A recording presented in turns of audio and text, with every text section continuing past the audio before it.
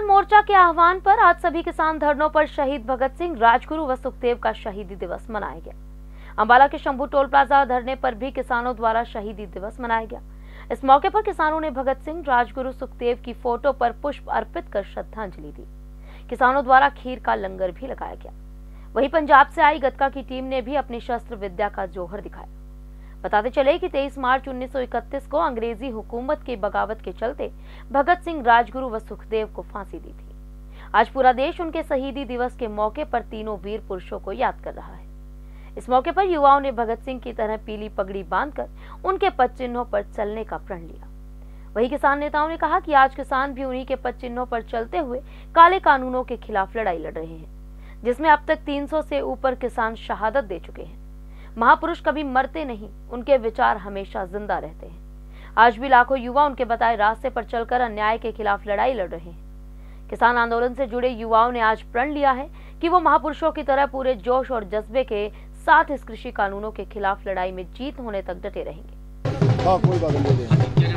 जैसे शहीद भगत सिंह को अंग्रेज़ी सरकार ने, गौरी सरकार ने 24 मार्च को फांसी देनी थी, पर वो डर गई, तानाशाही सरकार उसने 23 मार्च को शहीद भगत सिंह राजगुरु सुखदेव को फांसी दे दी है। इसी प्रकार, ठीक, वो गौरी सरकार थी, अब काली सरकार है, मोदी सरकार है, ये भी हमारे 300 किसान शहीद हो चुके हैं, उनके बारे में एक शब्द नहीं बोलते, और भगत सिंह जी ने एक ही बात बोली थी कि इंसान के विचारों आदमी तो मर सकता है इंसान के विचार कभी मर नहीं सकते वो हमेशा ज़िंदा रहते हैं। बड़ा बड़ा साम्राज्य समाप्त हो जाते हैं पर इस तरह जो मोदी सरकार है ये भी समाप्त हो जाएगी अगर किसानों के साथ जल्दी चहती नहीं।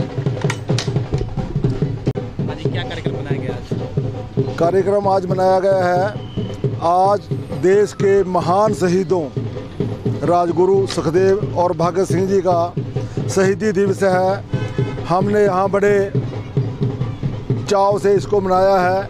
नौजवानों को पीढ़ियाँ पगड़ियाँ बाँध के भगत सिंह की तरह जज्बा उनमें देखने को अब भी दिखता है। प्रोग्राम चल रहा है, बच्चे गत्तगा का प्रोग्राम दिखा रहे हैं।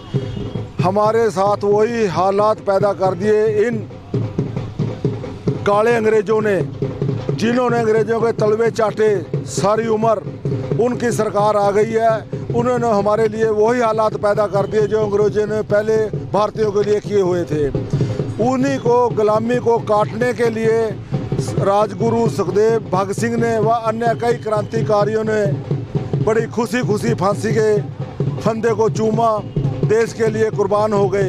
अब भी ये सरकार वही हालात बनाना चाहती है। अब भी बहुत भगत सिंह हैं, बहुत राजगुरु हैं, बहुत बच्चे उनके नक्शो कदमों पर चल रहे हैं। सरकार यही हालात पैदा कर रही है। उनका मुकाबला हम उसी तरह करेंगे जिन्होंने क्रांतिकारियों ने किया था। हम इन कानूनों को डट कर विरोध करेंगे। उन्होंने भी यही कानूनों किसानों के लिए, कानून देश के लिए, पब्लिक के लिए, मजदूरों के लिए लड़ाई लड़ी। ये सारी लड़ाई हम भी मजदूरों की, किसानों की, व्यापारियों की लड़ रहे हैं। इसी तरह जारी रहेगी।